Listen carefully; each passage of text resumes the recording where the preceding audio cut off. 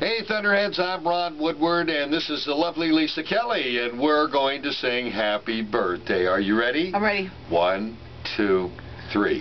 Happy birthday to you.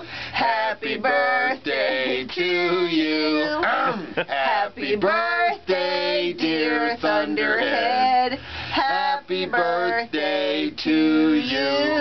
So now you know Why why we we got into radio.